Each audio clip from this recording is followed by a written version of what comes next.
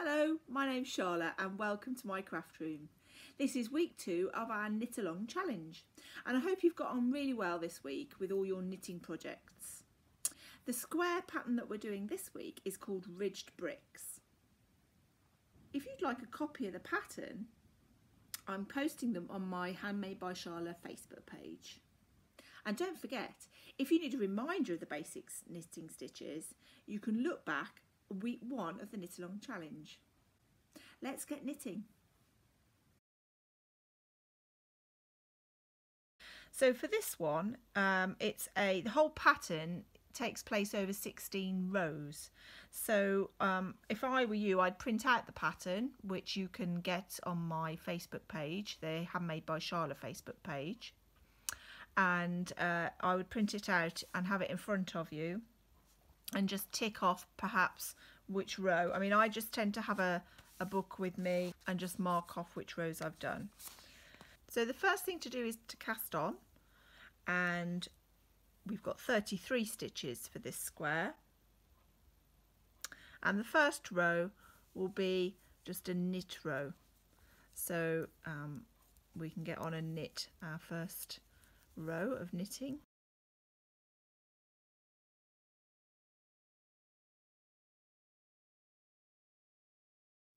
Okay, and you'll see from the pattern, if you're looking at it in front of you, that actually the first one, two and three rows are all knit rows. So we'll get on and knit our next two rows of knit then.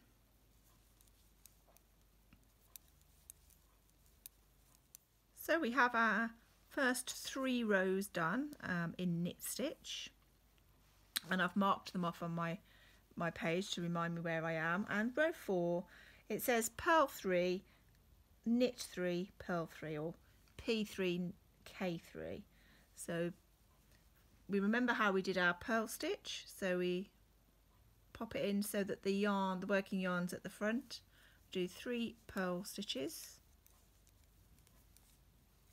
Okay.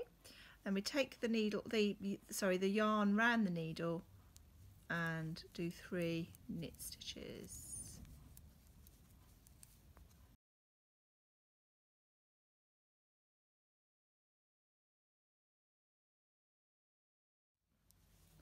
So we do another knit row. So our row five was a knit row and that's been done.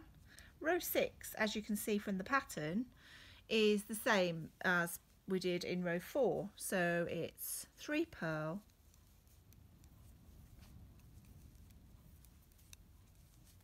and three knit.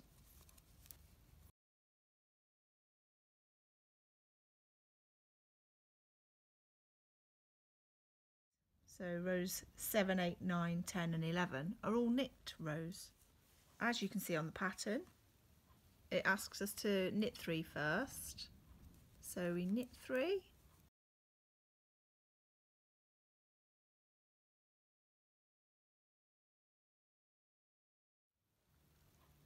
There we go and row 13 is a knit row and you can see quite nicely now how this pattern is taking shape. Isn't it pretty?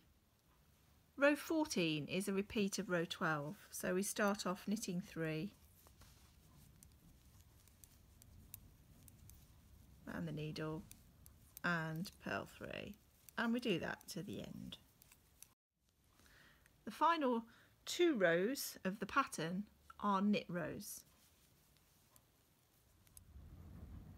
And there we have our first 16 rows of our pattern. And I think you'll agree it's very pretty and you can see why it's called ridged bricks.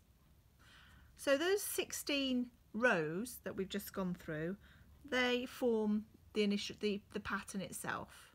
And obviously to make a square, we need to repeat that pattern.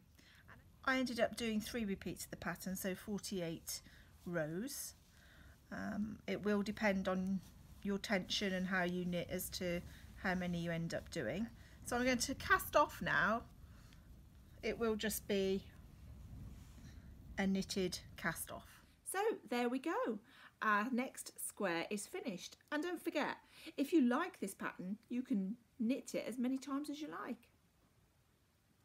Join me next time for the next square. Bye for now.